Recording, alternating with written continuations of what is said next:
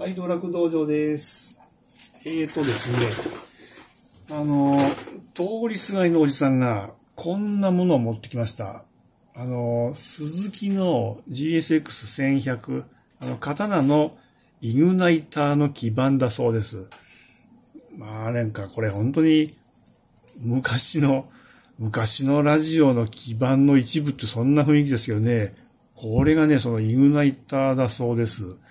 あの、なんかちょっとね、調子が悪いって言って、その、えっ、と、アイドリングがね、ばらついたりとか、なんかちょっと具合が悪いと。で、キャブなのか、これなのか、ちょっと、まあ、判別がわかんないということで、で、その、キャブ、キャブはなんか吉村にね、もう見てもらったばっかりで、まあ、おそらくキャブではないんじゃないかということで、じゃあこれじゃないかということでね。で、これをね、まあ、その自分なりにいろいろ調べたみたいで、そうしたらですね、このトランジスタ、この二つがね、まあ、ダメになっちゃうことが、まあ、あると。で、これを交換したら改善したっていうような、そんな記事を見つけたみたいで、じゃあこれも交換してみようということでね、えっ、ー、とね、部品をね、まあ、ちょっともう廃盤になってたんでね、まあ、互換品っていうか、そのまま上位品番のやつですね、これ。これを用意してもらいましたので、これと付け替えてみようかなと思います。これね。それにしてもね、これ、この3つあるうちのこのこのベースのとこね、この真ん中の足がないっていうことは、あれですかね、この、その増幅とかスイッチとかっていう使い方ではないのかな。まあ、なんかちょっとわかんないですけど、ダイオードって的な使い方をしているのかもしれないな。ちょっとよくあんまり詳しくないんでわかんないですけど、まあ、そんな、ちょっとね、ここ足切ってあるってのはちょっとわかんないですけど、そんな感じなのかなと思います。まあ、とりあえずね、これ、まあ、何百円のもんらしいんで、これにちょっとね、これ付け替えてみたいなと思います。えーとね、まずここの、えー、まあ、2本、2本ずつこれを、まあ、ハンダを吸い取って、えー、これをね、こっち側に引っこ抜きたいんですけど、足折ってあるんでね、ここね。折れてるんで、一旦こちらをね、切っちゃいますね。じゃここをね、ここバッチンと切っちゃいます。このね、高級車のこういう部品をね、ためらいもなくこう切るっていうね。うん。気持ちいいですね、これね。ぶった切る。うん。はい、切れました。そうしたら、このネジをね、取ってきます。これ使うレンチはこれタミヤのね、みんなこれ持ってますよね、これ。懐かしいですね。これで、このこっち側でね、取ってきます。これ反対側ね、ハンダーでネジくっついちゃってるんで、これ、ね、動かないですね。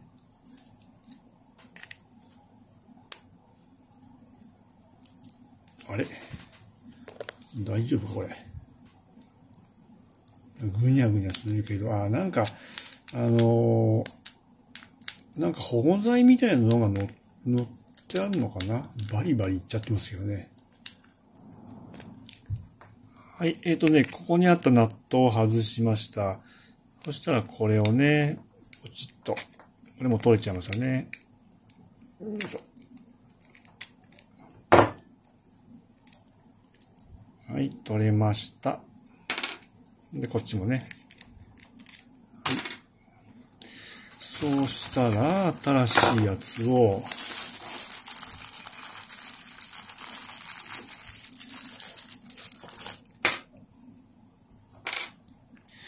えーと、そしたら最初にこの真ん中のこのね、ベースはいらないので、切っちゃいますね。よいしょ。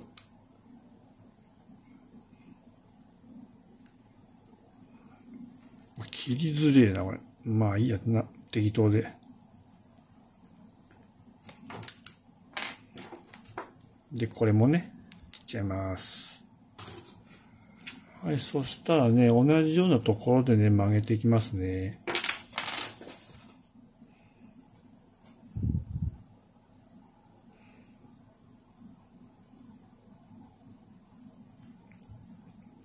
な感じですかね。こっちも。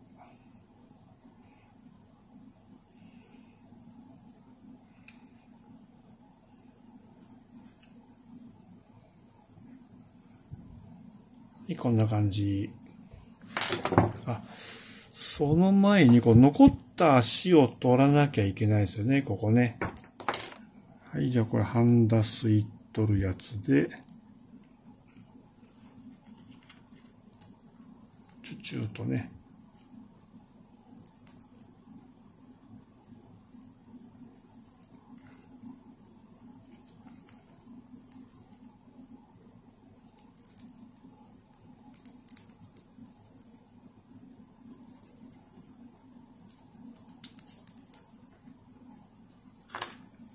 はい、そうしたら、ただこれ、これ。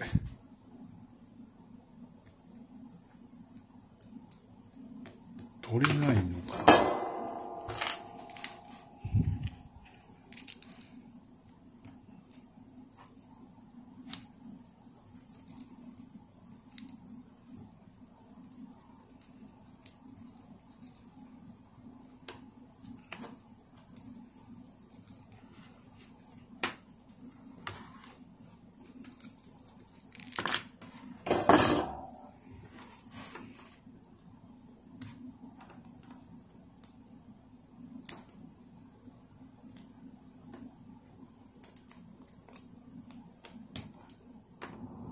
はい。えっ、ー、とね、基盤に残った足が全部取れました。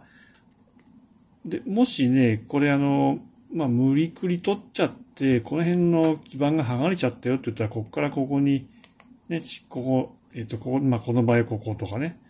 この場合は、えー、辿っていくとこことかね。こういうとこにジャンパー線で飛ばしちゃえばいいんで、まあ、そんなに気にすることはないと思います。これちょっと剥がれちゃいますけど。じゃあ、ここにね、あの、先ほどのこれをね、つけていきたいなと思います。じゃあ、ここにね、こうやって、差し込んだら、あらら、かなうん。もう一つ。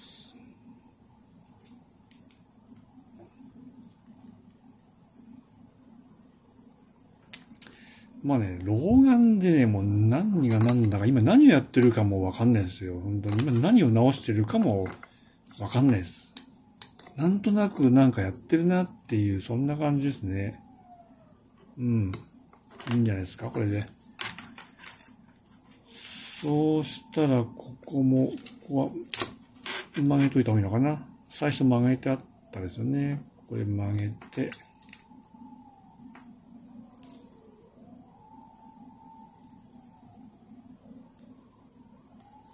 うん。いいですね。そしたら、先に、これネジ止めちゃいますかね。ここ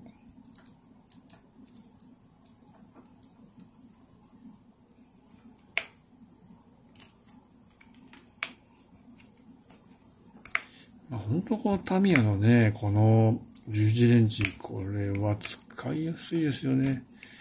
オイルのね、納豆、センターの納豆をつけるときにこれ使いましたよね。懐かしい。ああ、ネジが、ネジがちょっとバカになってる、この中。この中にね、ハンダが入っちゃってるんでね。うまく入んないです、ドライバーが。はあ、きついわ、これ。さあ、えーと、ネジがね、えー、閉まりました。そうしたら、ここね、ハンダ付けしていきます。じゃ老眼鏡をかけて、さあ、じゃあ行きますよ。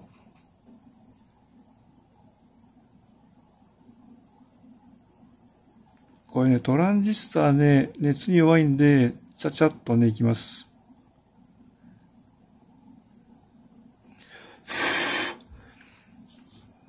じゃこっちとこっち交互に行きますね。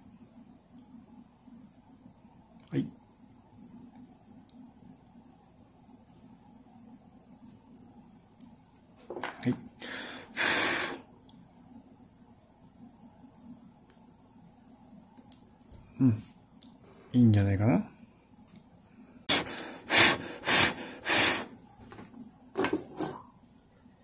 熱に弱いんで。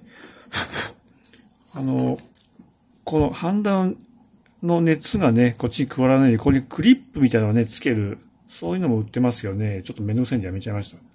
まあ、ヒートシンクもあるんでね、ここにね。うん。まあ、いいんじゃないかな。どうでしょうかね。これでおじさんのバイクは治るんでしょうか？えーとね、今ね、これ、できたと思ったら、これがありました。これ、あの、ここにつけるやつ。これね、ネジの下につけるやつ。これが入ってなかったです。この外したね、これになんかべったり、なんか糊みたいなものでくっついてました。これをね、まあ引っ剥がして、で、今こっちに移植しました。これで正解みたいですね。はい、というわけでね、あの、なんとかあと取り付けるだけっていうところまで来ましたけど、まあ、それにしてもね、この、この作り、ほんと昔のラジオの基盤っていうかね、現代のね、オートバイのこの点火装置とかっていうと、あの、こういうね、まあ、当然基盤ありますけど、こうちっちゃな基盤にね、わけのわからんチップがバンバン並んでいたものを、あの、なんていうか、こう、樹脂で固めちゃってあるようなね、そういう、そういうものが主流なんですけど、まあ、こういう古典的な本当に昔ながらのね、こういうプリント基盤、本当にインターンシップの子が考えてるような、なんか、こう ぐちゃぐちゃのね、こういうものが、なんか、非常にいいというか、うん、こういう部品もね、何が使われてるかよくわかる。もう一目瞭然でね。まあ、今これを作ろうとしたらおそらくほんの、こんなちっちゃなものになると思うんですけどね。まあでもこれがこのぐらいの大きさあって、こういうふうに分かりやすい作りをしてるっていうのがね、まあ今こういうふうに直せるっていうことでもあるので、まあこういうのがね、楽しみでもあるのかなと思います。まあこれで治ればいいですけどね、まあとりあえずこれをつけてもらって、まあ、どんな具合か見てみたいなと思います。まあ、ちょっと今回自分ができるところはね、ここまでなんで、あとはちょっとオーナーに任せます。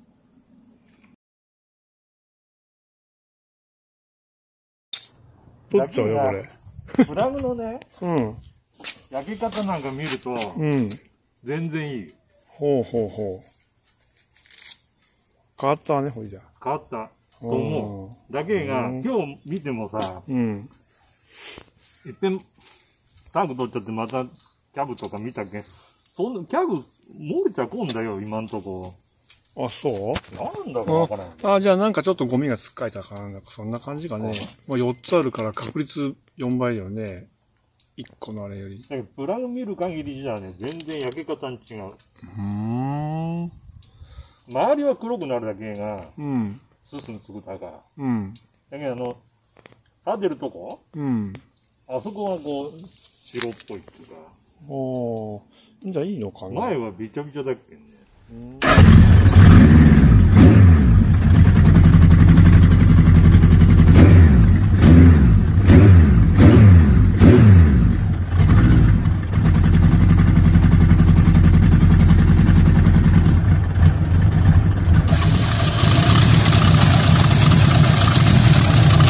これ正常？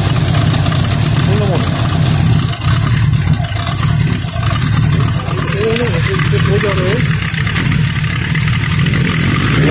った。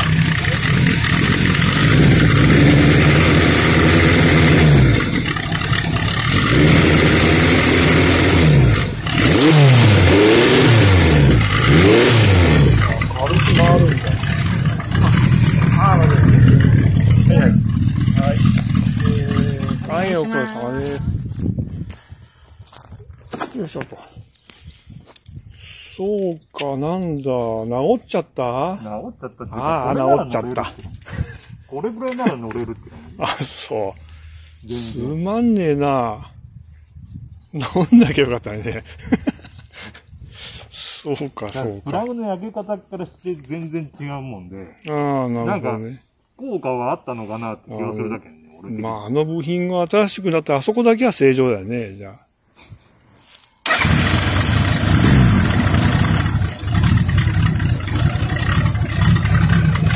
Cool. かってだから。う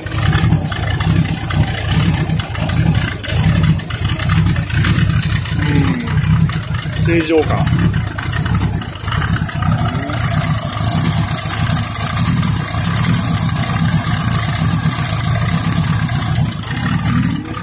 さあ、それじゃあね、治ったみたいなんで。うん。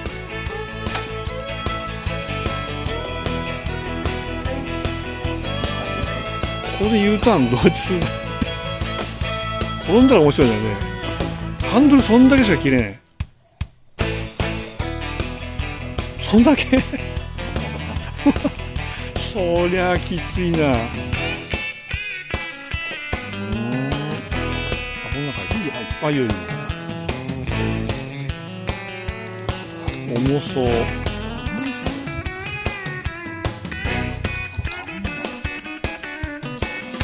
十分持ち替えたんです。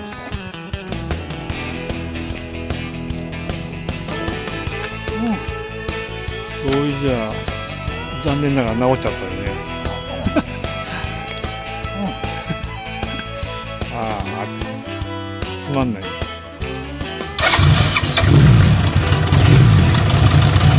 あ調子良さそうだよねなんか。